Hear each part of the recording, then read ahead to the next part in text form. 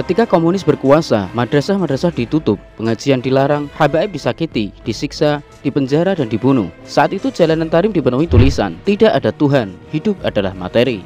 Video kali ini bukan terfokus soal polemik Bani Alawi atau Bani Al-Jawi atau Bani-Bani lainnya. Bukan soal mengunggulkan tokoh ulama yang sepihak lalu meremehkan atau menafikan pihak lain. Namun lebih ke konteks meneladani ajaran dan akhlak serta kasih sayang baginda Rasulullah SAW yang menjadi tolak ukur teladan yang membawa Islam rahmatan lil alamin. Simak kisah teladan ini sampai selesai, semoga menjadi bahan introspeksi diri dalam membangun kebesaran jiwa serta mengawal keimanan dan kecintaan kepada junjungan kita baginda Rasulullah SAW. Dan tetaplah di channel La Haula TV.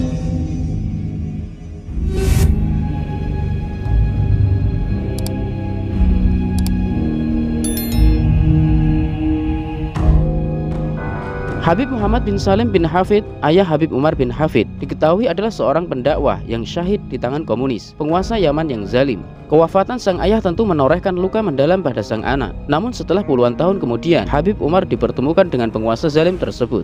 Bagaimana kira-kira perasaan dan sikap beliau terhadap si pembunuh ayahnya tersebut?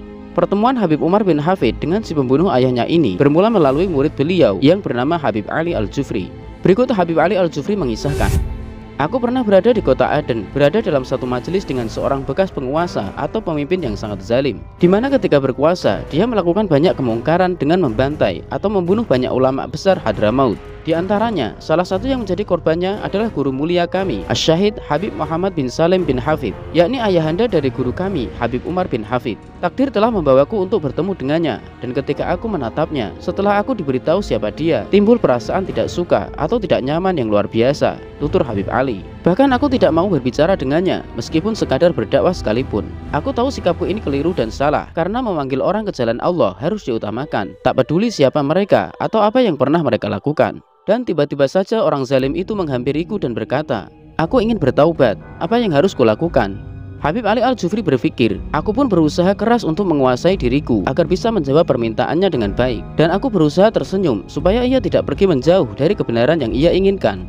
Segera setelah keluar dari majelis, aku tetap merasa sangat terganggu dan tidak nyaman. Maka aku menelepon guruku, yakni Habib Umar bin Hafid, serta menceritakan dengan siapa aku telah bertemu. Dan beliau hanya bertanya, apa maunya?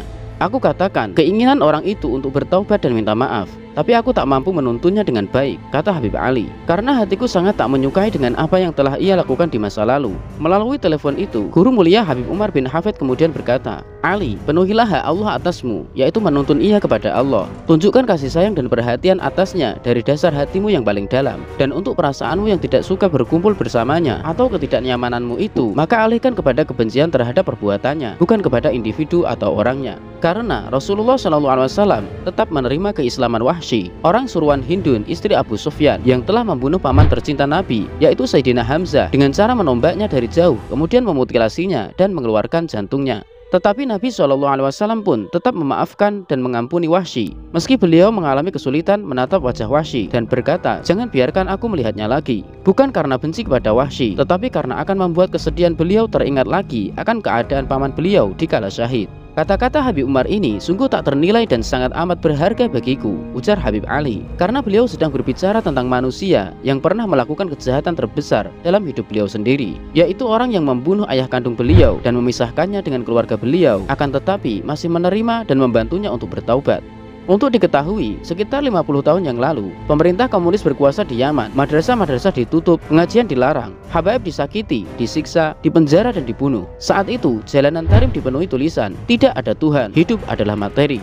Dalam keadaan genting itu, Habib Muhammad bin Salim, ayah Habib Umar bin Hafid bersikukuh tetap mengajar, berdakwah dan memperjuangkan syariat Rasulullah SAW. Ketika Habib Muhammad berhaji, seorang ulama maka berkata kepadanya, "Wahai Habib, janganlah engkau kembali ke Tarim. Tinggallah bersama kami di sini. Kami khawatir akan keselamatanmu." Namun Habib Muhammad menjawab, Dulu para sahabat keluar dari Madinah ke seluruh penjuru bumi untuk mencari mati syahid. Sedangkan sekarang, kesyahidan datang kepadaku di Tarim. Apakah kau pikir aku akan lari darinya?